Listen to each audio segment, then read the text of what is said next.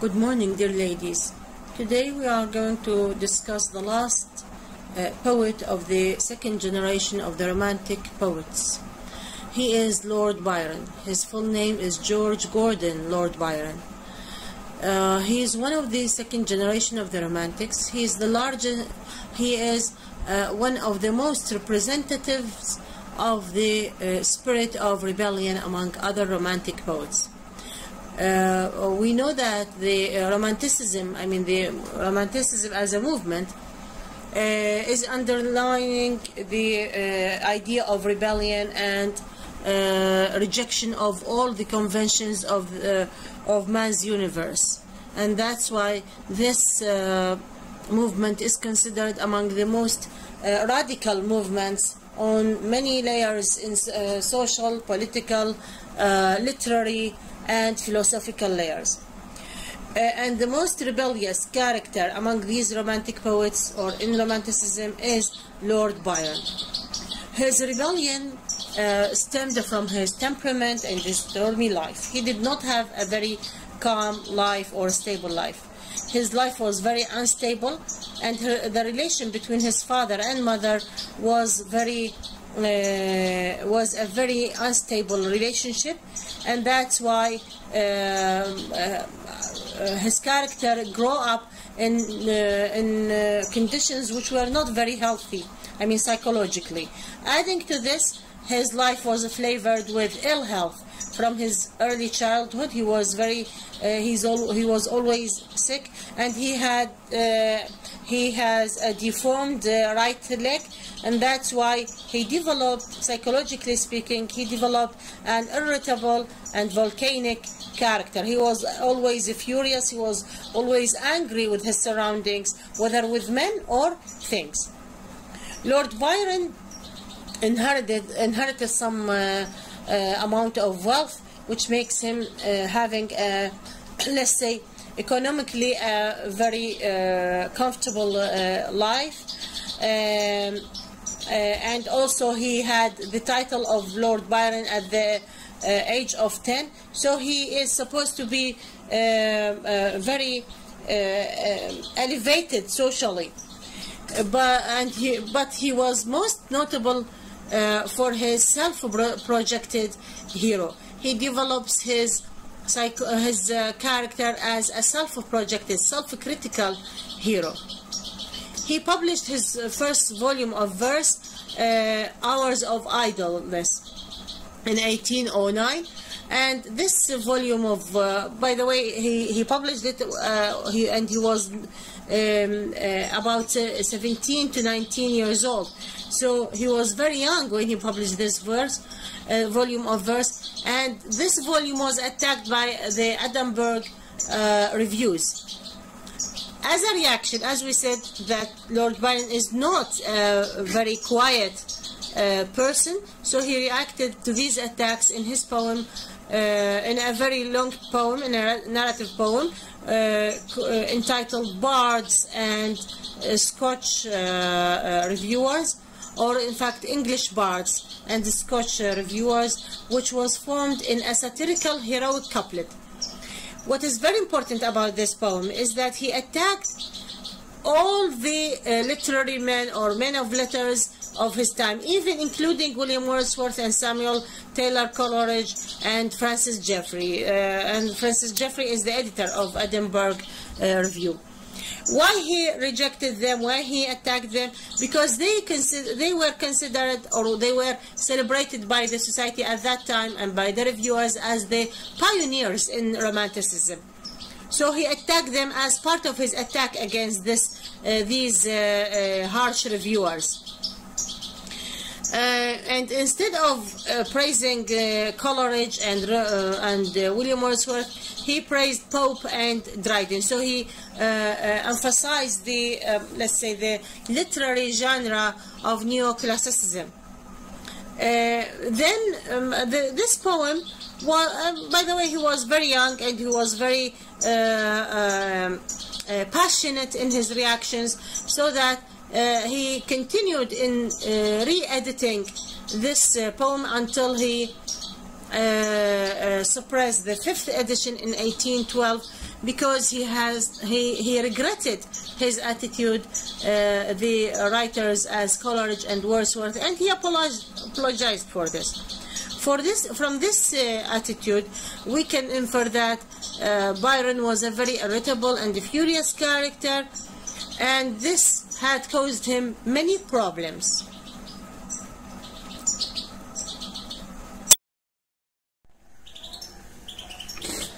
Now, as for, for Lord Byron's literary outcome, um, Byron um, is considered as the uh, um, uh, elder uh, or eldest uh, uh, among the other romantics.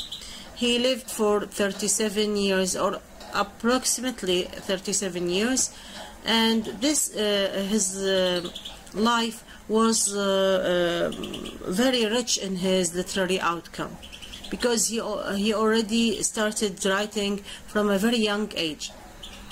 Um, his uh, early uh, literary production, Childe uh, Harold's Pilgrimage, immediately brought him an immense success because his style uh, that he presented was full of melancholy and meditations and contemplations on the instability of man's grandeur and power.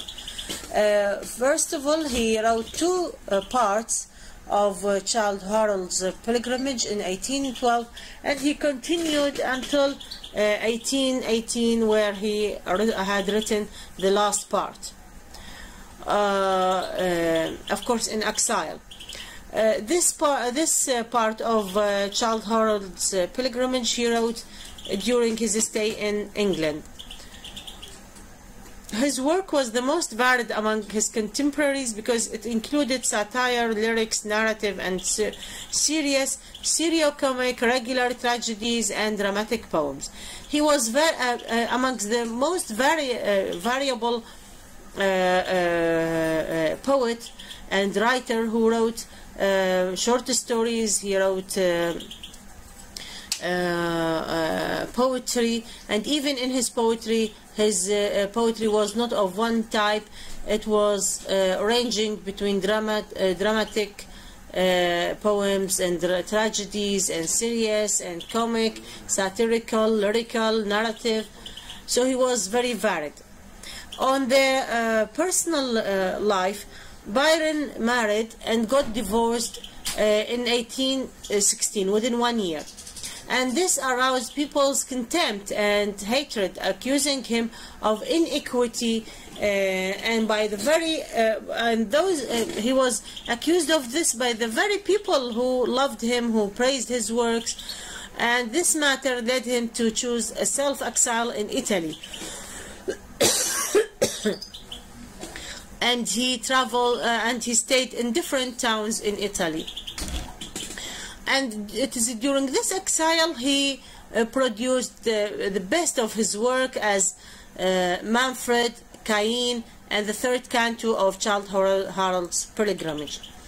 And uh, also he wrote his uh, Don Juan, was, which was unfinished because he died before uh, finishing it.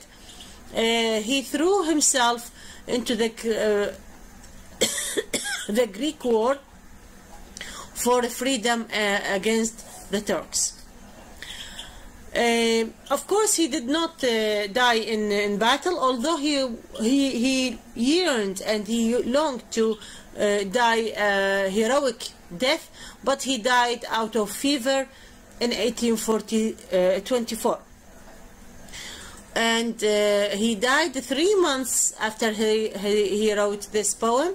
Uh, on this day, I complete my 36th year. He wrote this poem uh, on his 36th uh, birthday, as if it were, uh, or as if he presents a soliloquy or in which he contemplates his past life and he draws his, uh, let's say, um, uh, hope in the coming days. But it seems that he could not accomplish what he yearned in this poem to be a, a heroic figure because less than three months he died after uh, I mean after this uh, uh, writing this poem he died uh, within less than three months Byron was in Greece. Of course, he moved from uh, Italy to Greece, and he fought with the Greeks against their uh, uh, and their uh, uh, war against uh, the Ottoman Empire. They they were fighting for their independence. Um, and in this poem, you can see that it represents the poem represents one of mo- of Byron's most meditative and personal poems, and it remains one of his most popular and uh, most uh, uh, let's say uh, uh, one of his most uh, um, famous poems. This poem is very important because the ways Byron uses um, um, many literary devices as allusion, language, and imagery um, were very marvelous, and he creates through this use of these ways uh, of literary uh, techniques, he creates a, a poem of defiance and pregnant lament, as if he is lamenting uh, his own um, type of life. He was lamenting or regretting the, the way of life he was living, and as if he, it anticipates his early death. The poem reflects the stages of Byron's uh, argument, and uh, also in this uh, in this poem, uh, in fact, not only in this poem, in many of his poems, in many of his works, uh, uh, Lord Byron uh, created a very important concept, which is the concept of the Byronic hero, and he, he was followed. This this concept was followed by. Uh, um this concept, in fact, uh, was followed or was uh, copied by many of the writers, not only of, of his time, nor uh, uh, but also during the modern time, even not only in poetry, in many uh, genres of literature, like uh, what we will see in, for example, Bernard Shaw, he presents the Byronic hero, and many of the writers tried to develop this concept to create the Byronic heroine, the female Byronic heroine. Dear ladies, concerning the Byronic hero, we have to know why did Byron uh, create such a, a hero, create such a character in his uh, literary outcome. In fact, from the beginning, we said that Byron was so much interested in the earlier Enlightenment era tradition of Alexander Pope.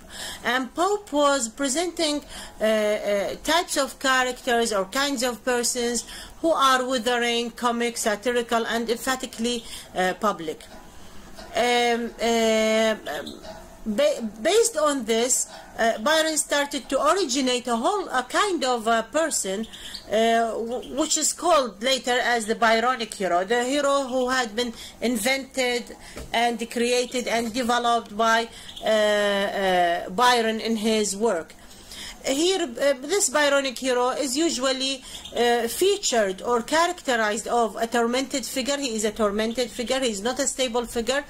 Uh, he is always ranging or torn between uh, the state of melancholy and uh, passion. Uh, he he is idealistic and self-destructive. It means that he is always self-destroying himself. Um, and he is a figure, figure who is mostly described as a remorseful for unrepentant rebel, uh, rendered godlike. He is um, uh, regretful uh, uh, because he is always uh, rebelling, rebelling against uh, matters, and this rebel cannot be repented, cannot be forgiven. But still, uh, in his rebellion, he renders himself just like a god. He cannot retreat from this rebel. As if he, this, this character is so much representative of Byron's own character. Now, to uh, define a Byronic hero, uh, we can say that he is a type of a fictional character who is a moody, brooding rebel. It means he is alwa- always contemplating on his deeds, on the on his universe. He is contemplating. He is meditating. often one haunted by a dark secret from his past.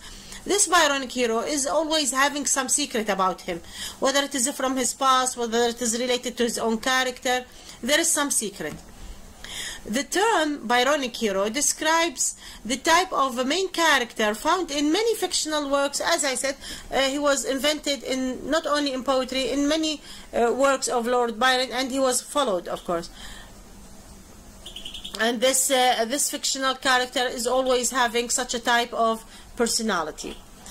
Uh, of course, he is a romantic hero, a young man fighting always fighting, always rebelling for lost causes. Uh, his causes, his reasons for having this uh, conflict with matters or with men is not always based on good, uh, let's say, good or uh, decent causes. Because and he is always. Uh, he knows always that he is going to be to be defeated. He is going to lose this uh, the battle of in which he is fighting. Uh, the Byronic hero seems to be just like Byron. He is a very handsome man, noble, but still he is mysterious. As I said, he has some secret. Uh, what is that secret? It might be a horrible sin. It might be uh, some mistake, something which is which cannot be forgiven. Uh, but that character never, never says uh, or reveals his secret. And that's why, because he is always rebelling, he is considered as an outcast. He is oh, he is abandoned by his society, and that's why he lives in solitary. He is uh, living in solitude, in isolation, uh, inaccessible. No one can reach his secret, and still he is a rebel. He is always uh, uh, uh he always doesn't care for, uh, or he never cares for the conventions everyone can feel the presence of a shade in his past.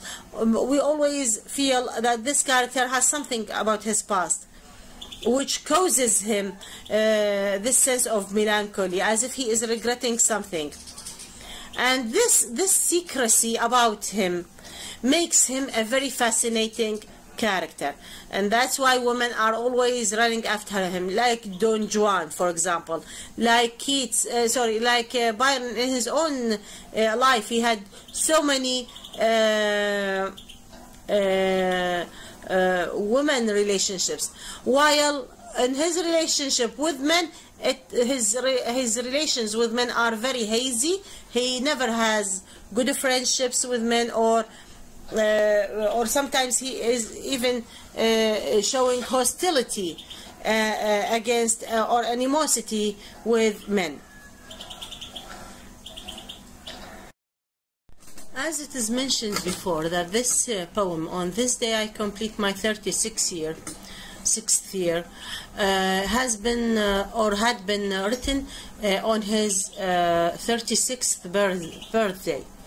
And uh, uh, uh, from the attitude and from the tone of the poem of the poet, in fact, or the speaker, we can uh, conceive and understand that uh, uh, Byron is not presenting a very hopeful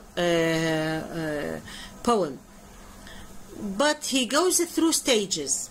Of course, in this poem, he, the, law, the author is going through uh, stages uh, uh, of feeling, stages of his psyche. This poem is likely um, an autobiographical poem, and Lord Byron was uh, uh, um, um, used to be um, at his time a heartbreaker of his day. He was very youthful, he was full of energy, and he was followed by uh, women. And he had so many love relationships. But uh, now from the very beginning it seems that all his worth as um, um, a loved person uh, is lost and that's why he starts his uh, uh, uh, poem with a sudden declaration. He declares that it's time this heart should be unmoved, since other it has ceased to, me, to move. Uh, um, The first line gives the reader a sense that the speaker feels he is moving into a new epoch. It is time this heart should be unmoved, so it is time to, to make some change to his heart. That it is time that this heart would never be moved by love relations. As if he is making a decision concerning changing, the, some change on the layer of love, on the idea of love and uh, the speaker feels he's moving into a new epoch, into a new stage in his life. Something big is, is happening. Uh, concer- now concerning his uh, uh love, the idea of love, and even concerning uh, his own age. He says, Yet though I cannot be loved, still let me love. He has some hope that although he is not uh, loved, but still he has some energy in his love to be in his uh, sorry in his heart to present love to to some uh, uh, to somebody or something. Uh, he renounces being loved back but still he feels his heart is having is still having some power which is enough to beat with love. Uh, um, uh, and in stanza 2, he continues this attitude by uh, referring to his age.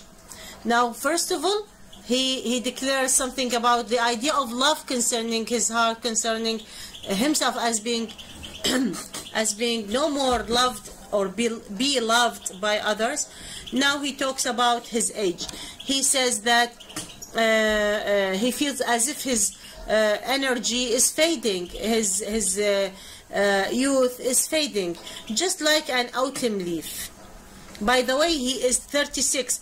In, in our modern time, we may not look at a person or, uh, with his age of 36 as an old person, but at his time and with his ill, ill health, he feels that he is decaying, that his age is so uh, uh, is so old and he is now in the epoch of life in which his leaves get uh, yellow, just like a tree.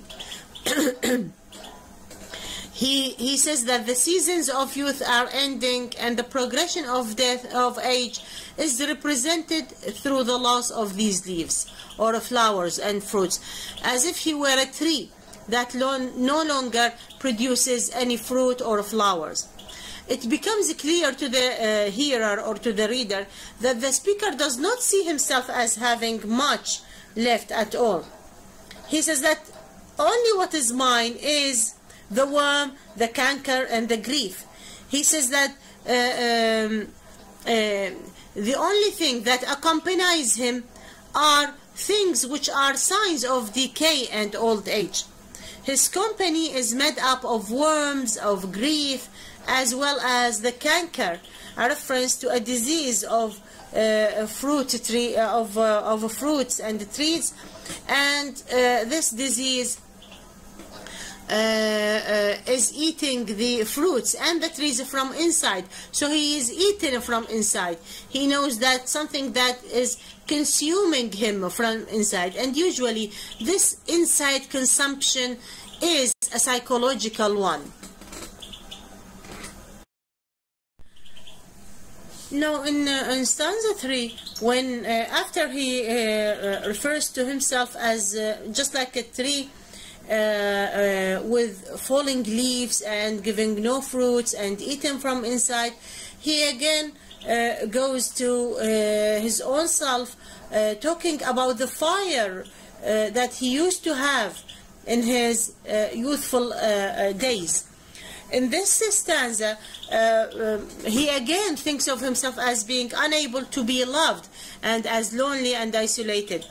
He says, as lone as some volcanic uh, isle, no torch is kindled, as it is uh, blaze a funeral pile. In this third stanza, uh, uh, he dedicates his uh, description to show how much alone he is and how much unloved and uncared for he is. And uh, yet he he says although he feels this loneliness but uh, there is some uh, he refers to himself just like a volcano, a volcanic isle, the isle under which or beneath which there is a huge fire that is uh, uh, uh, uh, waiting to be um, torched or to be lit. But this fire is unseen. And this fire used to be uh, inside him because it is the fire that he used to have in his relations, the fire of energy, the fire of passion that he previously filled his relationships. It, he says that it is still there. It, it was not um, all extinguished. But because he is lonely, this fire is not uh, referred to as a torch to kindle for others. Instead, it burns within him. It, uh, it is burning him from inside. It is consuming him, leaving uh, uh, or leading him to his funeral. It is just like a funeral pile. Uh, it is more a funeral pile than a force that is driving uh, or that uh, that is similar to the fire that used to drive his uh, passions during his youth uh, or youthful days. In this depressed uh, state, he says that the love, or he describes that the love he used to nourish in his breast, breast is now consuming him.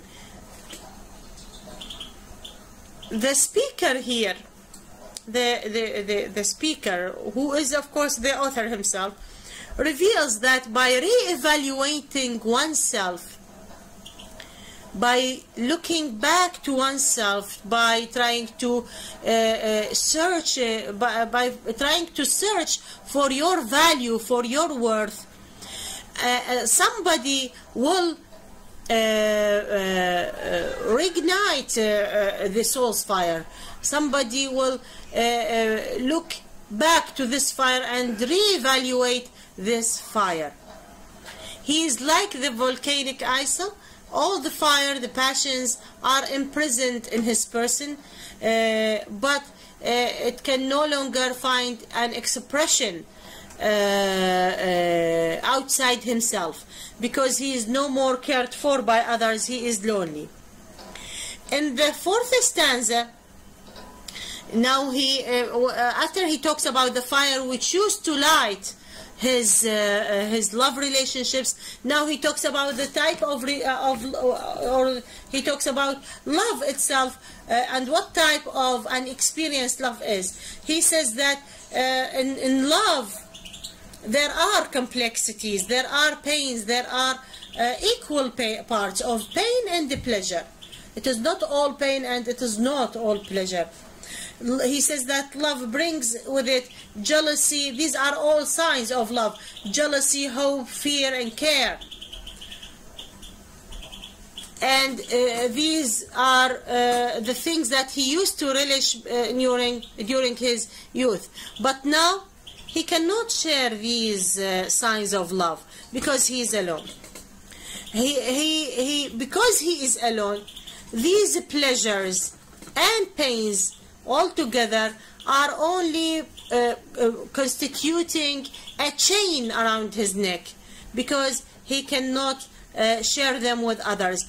And uh, they, they are burdening him, they are tolerating him because they are giving more weight to his melancholy. His passion has become uh, just like a burden than a joy. Love is presented in the first and second lines as exalted with the complex co- contradictory nouns of care, hope, fear, and pain. But in the last line, um, uh, the reference to love is very negative when he says, but we're the chain. Because I'm power of love, I cannot share, because he cannot share these powers of love, whether painful or pleasurable uh, portions, uh, uh, love turned to be, or his passion turned to be just like a chain surrounding his neck. So he refers to love as something negative. Because the chain is a sign of imprisonment, as if he, is, uh, he, he was unable to truly realize the pure emotion. The pure emotion of love, uh, which is away from passion, which is away from desire, uh, was not one of the uh, experiences uh, the, the, the poet or the author had experienced. In fact, all the love that he he had gone through in uh, in his youth was all away from uh, pure emotion. It is it was based only on let's say desires, on passions, but they are not pure emotions. And that's why they turn to be, uh, in his uh, old age, they turn to be just like a chain. They turn to be a burden for him. Had he uh, uh, experienced the real love, the real pure emotion, he would never refer to it as a chain uh, surrounding his neck. As if he is regretting that he had gone uh, through such type of love during his youth.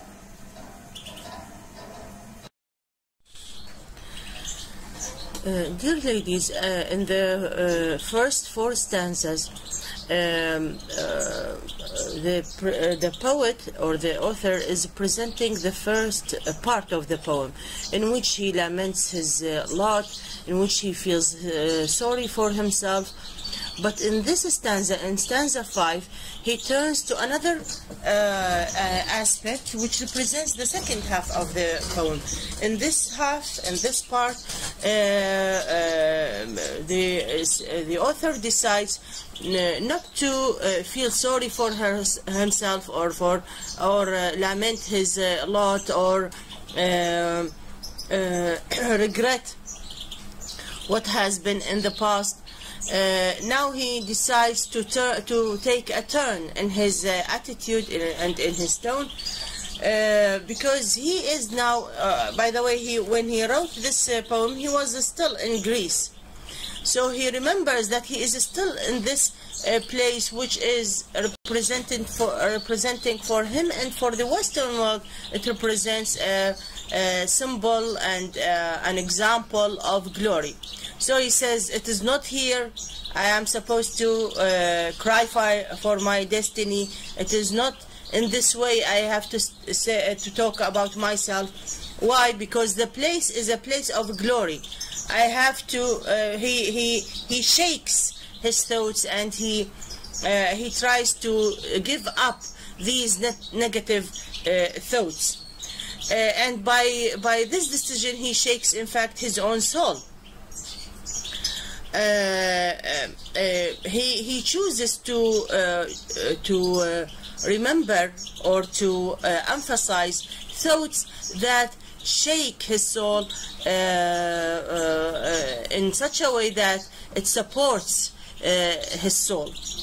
So rather become a sacrifice to his useless love, he is going to fight on. He decides to continue his battle in life and he continues his uh, um, uh, uh, struggle with life. Instead of sacrificing or uh, to to be uh, instead of becoming a sacrifice to this lamentation of his useless love. So he says that i'm not going to be just like a hero's bier the bier the hero's bier is the platform on which uh, the coffin of a dead soldier is put and uh, carried. So in this stanza, he remembers that he is um, in Greece and he says that he shouldn't think pessimistically in this land of heroism, in this land of heroes and chivalry and bravery. The speaker moves on uh, uh in this military challenge as if he is doing his own battle. Um, uh, in fact, he, in, in, in fact, in reality, he had moved himself to Greece in order to uh, be part of this military cha challenge, supporting the Greek nation in their rebellion against uh, the Turkish rule. Uh, uh, um, I mean, struggling or rebelling to gain their freedom. So the battle is another metaphor for freedom. War, often misguidedly described as glorious, has evidently captivated by he was captivated uh, by this idea uh, because he is of course war is never glorious but usually who goes to war with certain uh, uh, let's say just and great purpose he looks at war as glorious so uh, he describes it as glory pure glory as he looks at it. He wants to say that death in battle creates glorious heroes. So here, this this uh, uh, reference to uh, war as glory makes him accept the idea of death as far as death is the, is uh, or happens due to great uh, causes. So he continues in the sixth stanza in this attitude that he is glorifying war, that he is accepting death, because uh, the, the such type of death will be uh, for a just purpose or uh, just uh, cause. So he continues this militaristic uh, imagery. This is the image of uh, of the uh, of war uh, and military. He refers to the elements of the battle: the sword, the banner, and the the field. All these elements uh, are uh, constituting the militaristic image imagery and he um, in fact uh, this battle on, on the field is the same is a metaphor to the battle in his own mentality in his own mind. So these elements of the battle they make up his own mental image of the task that he turned his mind to. Wh- which task? That he he must make uh, his own struggle something glorious and he accepts death as something um, uh, uh, glorious also uh, as far as it uh, it uh, uh, guarantees his heroism, his glory. Uh, there are swords and banners and the field and the glory, uh, uh, all the glory that somebody would want. He also speaks of Greece as a location for the metaphorical battle for the recovery of his purpose. Now, um, um, he, he considers that Greece, just like the soldier finds in the field of the battle his uh, um, important cause, uh, uh, uh, Lord Byron had found in or ha- had founded in this field of Greece as a location for his own battle against death, against illness, against the miseries of life. So it, uh, Greece became the field of his own mental battle. So here we say that uh,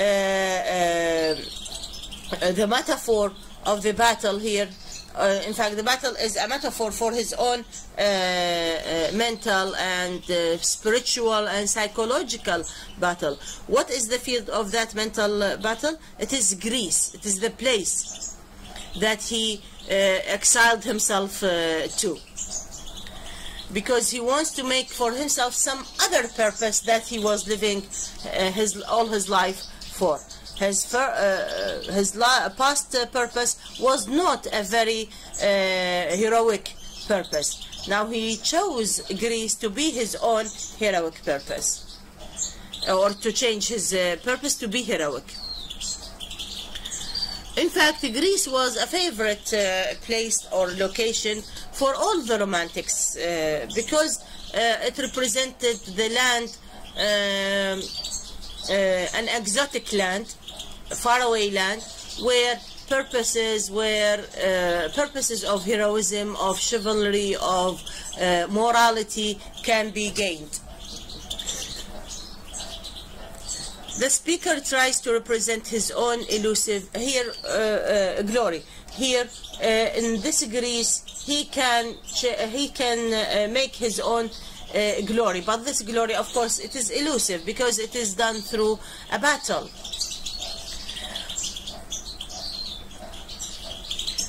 So if one asks why he tries to create his, uh, he, he wants uh, this battle to be created in his mind, because he, he finds that through this battle, it is only the, through the battle uh, the soldier can free himself. Just like, uh, um, because he, he believed that this battle against the Turkish rule, where or was uh, done by the Greek uh, uh, uh, people um, in order to free themselves from uh, tyranny. And he would like to be like the Spartans. The Spartans are the Greek people, uh, the ancient Greek people, uh, who were living in uh, in uh, Sparta, the prominent city-state in ancient Greece. He sees, he looks at them as uh, he looks at the Spartans as being uh, free, and they they they uh, they uh, go to the field to free themselves, to liberate themselves from all the chains of their rulers. For the speaker, uh, speaker, this battle will represent freedom, of course, his own freedom. Now, dear ladies, after he, he uh, refers to Greece as the uh, place where he should shake his soul, now he continues uh, uh announcing or, uh, let's say, uh, addressing his own soul to wake up. He says, awake, not Greece. She is awake. He, he refers to Greek as being a place where people or where souls are awakened and they are, they the spirits are shaken to great causes. So he begins with an exclamatory uh, word, awake. He, he is uh, addressing his own uh, soul to awake and to give up its numbing, its sleeping, uh, uh, which which it used uh, to be in. So he repeats the word awake, awake in the same line, and then he he repeats it in the second line, and this technique is known as anaphora. Uh, this technique is used to draw more attention, additional attention to the word, because he is emphasizing this state of being awakened. Byron begins this line by asking uh, uh, someone, of course not Greece, to wake up. Who is that someone? It is his uh, soul. He is speaking to his own soul, which used to be sleeping and uh, numbing, enjoying its happiness and enjoying its love relationships. So he wants to awaken his own soul from too much sleeping in that uh, physical joy and that uh, mortal joy. So uh, he he addresses it as saying as if he is saying that it is now the time for his soul to rise up away from its blood life of blood. Life of blood it means a reference to his passions to physical passions. And this uh, passionate uh, past which he used to spend his life in. And then he says you have to get away from this life of blood and you have to go to your uh, parent lake. Parent lake, it means uh, its uh, original source, its original source, its uh, original purpose. And he says, strike home. You have to leave this life of blood and you strike home. Byron uh, repeats also in the second, this second line, uh, um, let's say, um, um, he seems to uh, be delivering uh, an arousing uh, battle speech. We said that he is he wants to make his own mental battle. So as if he is talking to his soldiers. Who are his soldiers? His soul, his own uh, uh, spirit, and uh, his own passions. He is delivering as if he is delivering a speech before launching this battle, just like a commander or a leader who gives a pre-battle speech to uh, to uh, support his uh, uh soldiers with with spiritual strength, with psychological uh, strength.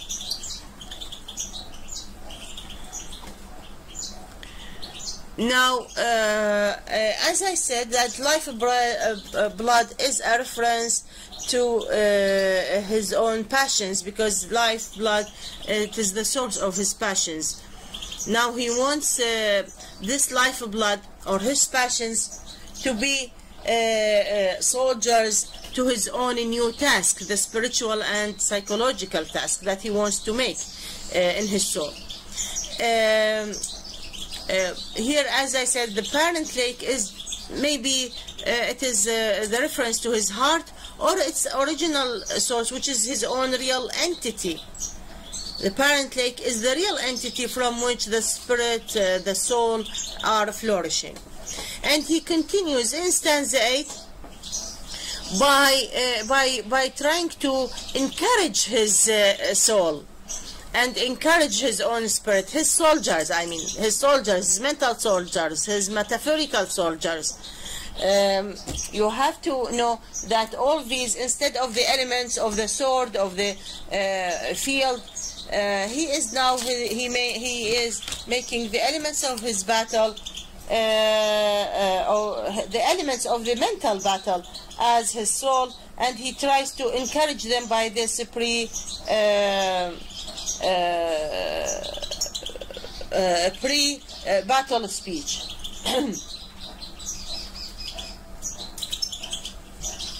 yes now as if as if his his passions are trying to discourage him from this purpose. Now he he says what? As if he is talking to the enemy. Who are his enemies? Are the reviving passions. He's, he urges himself to suppress this enemy, to suppress the reviving passions that go back to him because as if his his his body wants him to be uh, to continue its uh, pleasurable uh, pleasurable life so he wants to revive, uh, sorry, to suppress these reviving passions. As if these old passions tried to, to discourage him from pursuing his newborn uh, determination, the psychological determination, spiritual uh, determination. When he feels that he is hesitant, when he feels that his passions are, or uh, the past passions are trying to revive themselves, he, he, he feels hesitant and when he feels hesitant, he asks his soul to repress any reviving passions. Such passions should be kept down and away from his mind and heart in order to continue uh, this uh, mental battle, in order to continue to, to achieve glory. He wants to hush uh, these reviving passions down. Through this appeal for his soul, to repress the passions, it seems as if he is regretting the way he lived uh, in the past uh, uh, when he spent his life in uh, pleasures and in uh, in uh, physical enjoyment until this point.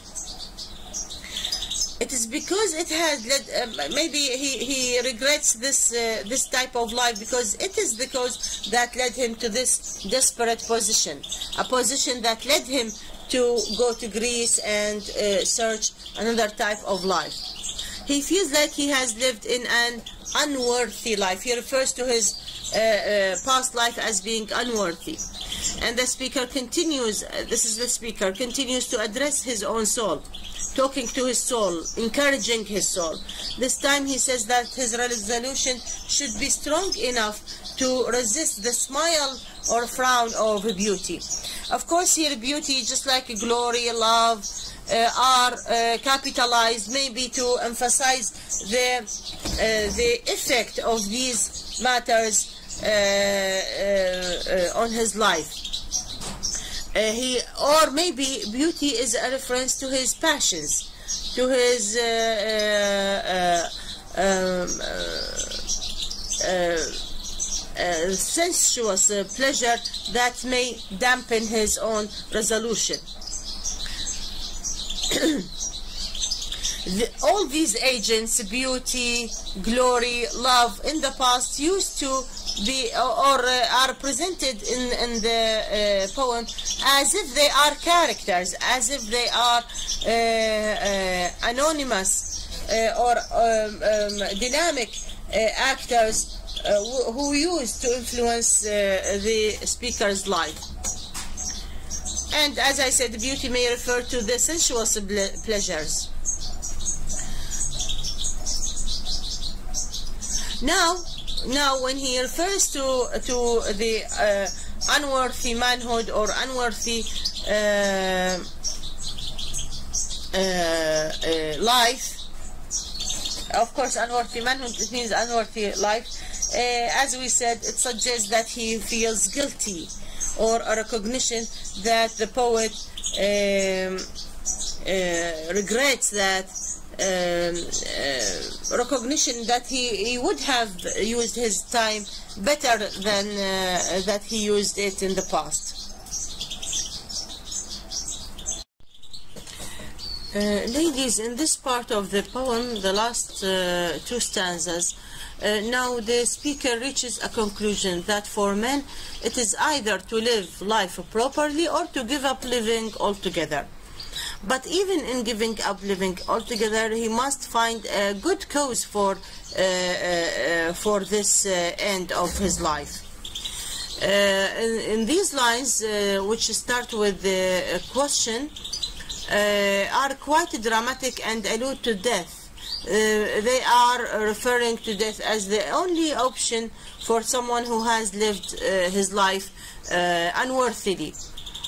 When he asks himself, what it means to regret one's youth, he suggests that the only thing someone uh, who is like the speaker can do is to fight and to, uh, to find his own uh, battle, to attempt uh, some, some, uh, something that regains uh, one's self glory, that regains the glory that he feels about himself. Uh, so he directs his soul, and anyone reading uh, reading his uh, words who might feel the same thing, who might feel that his worth, uh, his life is unworthy, he directs uh, him and his soul to go to the field and give away thy breath, to go to the field to search his death, but for great causes. This rhetorical question in the first line is saying, in effect, that he regrets uh, the way he has lived. So he might as well die, but when he dies, let his death be for a good purpose, for an honorable uh, cause, not in vain. Let his death uh, happen not in vain, just like his life, which was uh, wasted in vain. Uh, when he says honorable uh, death on the battlefield, um, uh, he he suggests that uh, the man he is talking about himself or the man who is reading the, these lines uh, is a man who is reckless who is uh, who has spent his life in vain.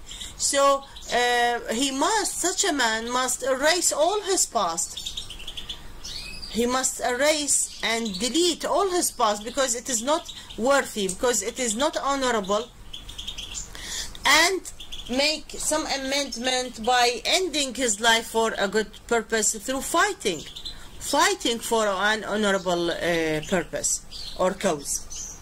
When he refers to the field as capitalized again it is an important agent uh, in in uh, in directing his life but not the uh, former life as beauty or love uh, uh, uh, now the field is an agent that must direct his life, his new life, the second phase of his life, which is towards his death. And this word field is representing any battleground fought for a just cause. In fact, Again, this is a reference to the metaphorical field of the battle, of the mental, psychological, spiritual battle that the writer or the speaker wants to uh, launch.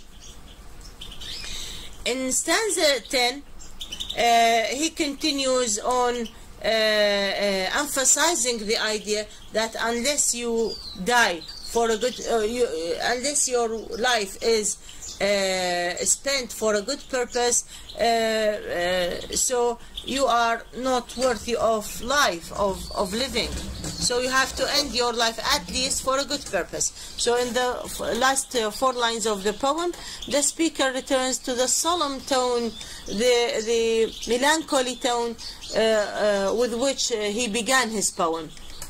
Now, in this point, at which he has decided death as the only option available to a person who lost his uh, uh, worth, who, who spent his uh, life unworthily. Uh, when he reaches this uh, conclusion, uh, he asks himself to seek out a soldier's grave, a death which is similar to a soldier's death, a death that that is, that is glorious. So once he chooses such Um, an option to end his life, he needs to look around. He says that I need to look around and choose my own ground, my own grave to be buried in. This is his destiny to finally find rest and repent for the way he has lived up until now. So he, he, he finds that the only rest he can find is by finding a soldier's grave for himself. So he is now according himself, or he is now uh, announcing himself as a soldier, not a, an ordinary person anymore. The conclusion is also uh, an, uh, um, a deep conclusion, a thorough and melancholy conclusion. He is seeking his own death, regarding the soldier's grave as a way to resolve his sense of waste. In, in conclusion, or in effect, it is his way of repaying, repaying his debt to society because he did not, he considers that he did not do his real so, uh, uh, role uh, towards society. So by fighting for the society, by being a soldier, by gra- gaining glory, he is going to repay his debt to his society. For the speaker, his reckless solution will bring him rest. The speaker uh, is going to take a hard look at himself uh, because he regrets his uh, youth and he tries to find a way to this gloriously uh, or to, to gloriously end his life just like a soldier. Now the battle, the mental battle, the metaphorical battle that he chooses is a battle for a great cause. And because it is a battle for a great cause, he chooses to die just like a soldier, to find himself a grave which is similar to uh, a soldier's grave. Now, as we finished uh, uh, explaining the poem uh, stanza by stanza, now we, we, we will make some conclusion of the themes and literary uh, devices uh, in the poem. In fact, there are so many uh, themes and there, uh, there is a diversity of literary uh, devices in the poem, but we are, uh, I'm, I'm going to present you the most prominent ones uh, referring to or um, um, mainly uh, referred to in the poem. Starting with the first uh, uh, theme, as he starts the, I mean, the speaker starts the poem, we have love versus aging. here, the poem, poet starts from the very beginning with the discussion of the idea of love whether uh, uh, um, um, or in, in, fact it is the main interest of the poet or the speaker that uh, uh, love is no more available for him. Uh, he is no more beloved, he is no more cared for, but still he emphasizes with, of course, love is usually coming with young age, but when he is aging, now he is matured. Now he uh, uh, uh, um, Uh, his maturity gives him the idea that he is no more able to be loved by others. Because he's aging. he's no more youth, uh, uh, youthful. Okay, so uh, yet he emphasizes that with this aging he still wants to feel love. He wants his heart to feel love. Okay so his he accepts uh, all these uh, pains of love. He says that uh, with love there are pains and all these things but still he accepts to feel the pains of love. Um, uh, even if he is unable to uh, to to enjoy the pleasures of love. Uh, um, and now he he uh, he sacrifices these pleasures. He only wants that his his uh, his life and his uh, heart beats uh, with love. Now the second or another theme, which is very important, is that with this aging, uh, uh, the the speaker starts to, or with this maturity, uh, the speaker starts to revive the spark of change. As, as far as he is no not able, he's unable uh, to make a, a, change uh, in what he has lost in his past. He is creating a potential inside him for changing. Uh, uh, his position, his desperate position. So it is only man. Uh, I mean, uh, change cannot uh, uh, cannot come unless man creates a potential to make this change. So uh, the decision made by the speaker uh, as not to feel sorry for his for his past and not to lament his lot and resist his elusive passions is the inner power that helps him regain the worth of his life and uh, regain some sense of uh, achievement and some sense of glory. Another uh, uh, uh, theme is glory and sacrifice. As the poem's speaker, uh, I mean, as this poem reaches, or uh, as the speaker in the poem reaches the middle age and turns away from love, he seeks out a new ideal, the glorious death. Instead, of, he sacrifices. He, he is, um, let's say, he is apt and ready to sacrifice his own physical life uh, for the sake of what? For the sake of gaining uh, glory. And that's why he starts to create his own uh, metaphorical uh, battle and uh, he he he wants to take the position of a Greek uh, soldier. Uh, in fact, in, in reality, the author himself has sacrificed his soul, his uh, life, and he gave up all his pleasurable life, and he traveled to Greece in order to join the battles of Greece for freedom. In order, he, he feels that by having a good cause in his life, he would uh, uh, gain glory and he would have the opportunity to to be become an undying part of history. So through death he will be an undying part of history. The- this is the these are the most uh, important let's say uh, themes discussed in the poem or at least the themes that uh, uh, uh, sum up uh, the poem now, moving to the literary devices, ladies, we have a lot of, uh, uh, let's say, uh, uh, literary devices used in this uh, poem. In fact, as we have already mentioned, that uh,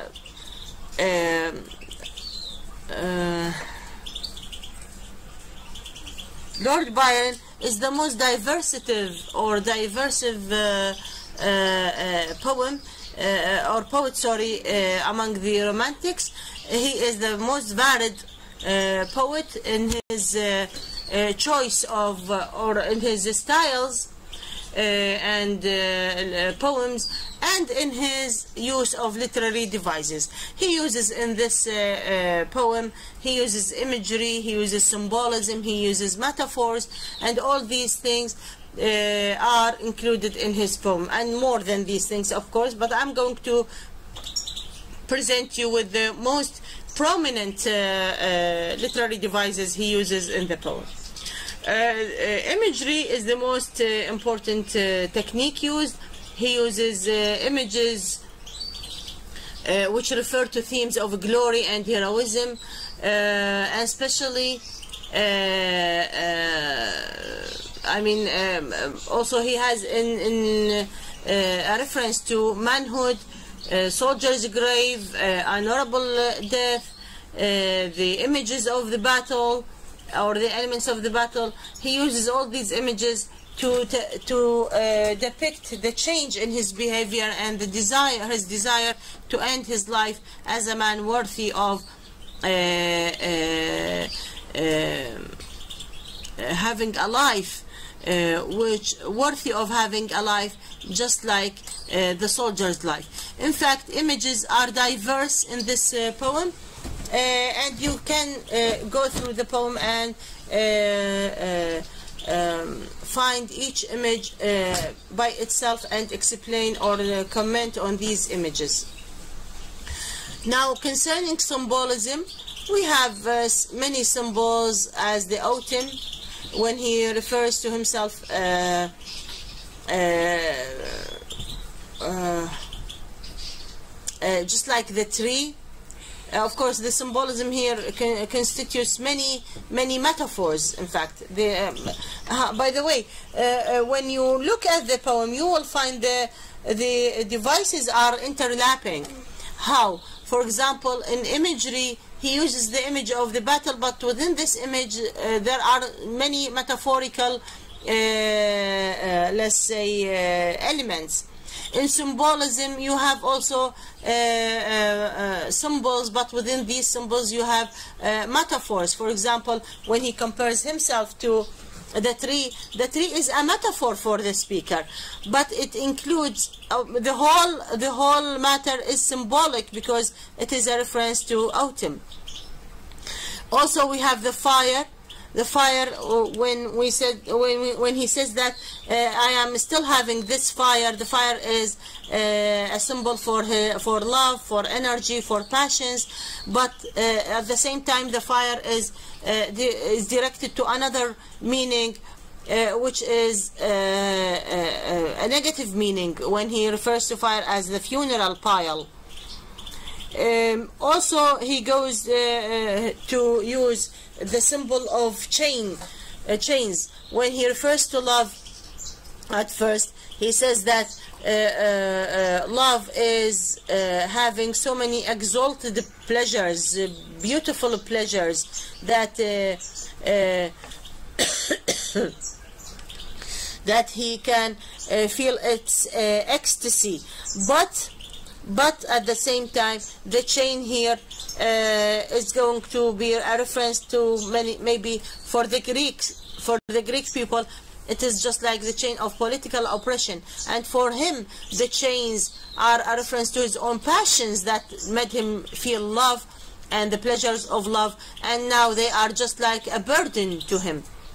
Uh, uh, uh, which he which he when he feels the, their burden he decides to change his latter life. His former life was spent with these chains but he did not feel them as chains. Now they are a burden.